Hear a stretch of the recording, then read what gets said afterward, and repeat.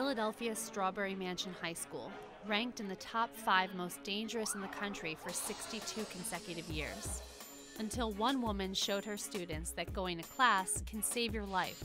Your hand is your hand. That's the hand you were dealt.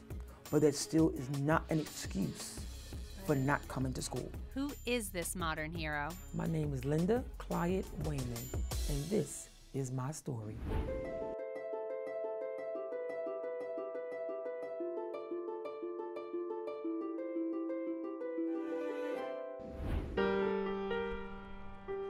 Linda and her two sisters were raised in a poor, crime ridden North Philadelphia neighborhood by a single mother who emphasized education. My mother was part of the working poor. She was a clerk. My mother was never on welfare. She's trying to raise three girls on her own. And my mother always told me, you can do and be whatever you want to do and be, but you're going to have to work hard at it. Linda overcame overwhelming odds to achieve her goals. She earned a master's degree and spent 20 years teaching special ed.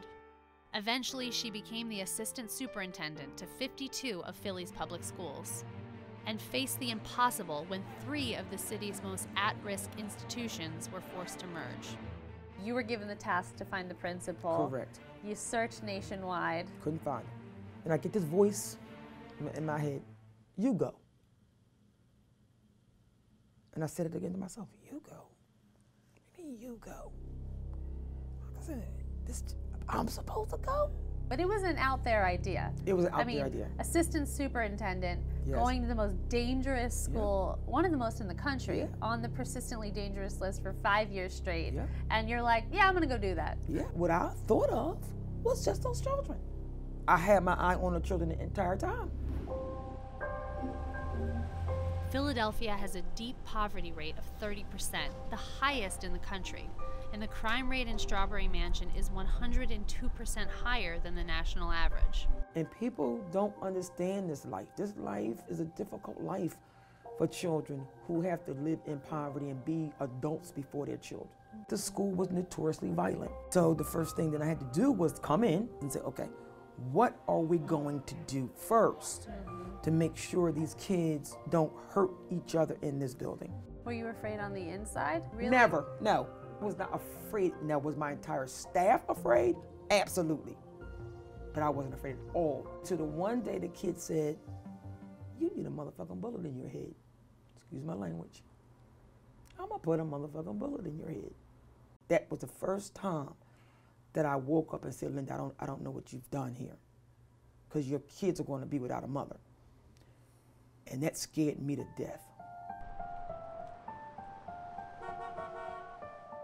Linda put on a brave face and got to work, enforcing rules like no weapons, no drugs, and no violence. But it wasn't until the school's anti violence assembly that Linda realized just how dire life was for these kids. It's just showing this video mm-hmm. of the Columbine situation. And the auditorium erupts into laughter. And these kids were violently shooting people. And so when it was over, I said, I want to meet with some people. Right. Can you please tell me why you were laughing? That ain't nothing compared to what we see. Nothing compared to what we see and what we witnessed.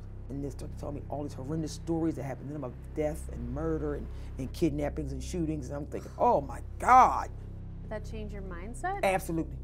It, it, it completely changed how I saw everything here. I no longer focused on the violence and rules and regulations I still knew I had to have in place, but I went right to, okay, we got to provide some hope in here. This school, we have to find ways to show them glimmers of hope. We're missing some things here. She started by implementing things that many students take for granted, like school dances and field trips. And each morning, Linda makes the same announcement so the kids know she's always in their corner. If nobody didn't tell you, they loved you today. You remember I do, and I always will. Her message of love has given her students hope for a brighter future.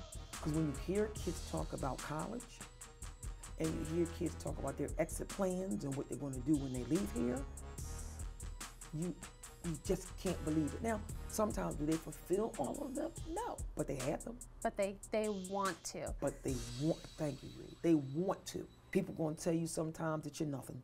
People going to tell you you can't get up, and you're going to say, "Yes, I can." And if nobody else expects for you to do so, I expect for you to do so. And sometimes these kids need somebody just to expect for them to do better. This isn't a job. No, This is your life. this is my life. I just believe it's my calling. And I believe my whole life's journey is for me to try to help them the best that I can. I truly believe that.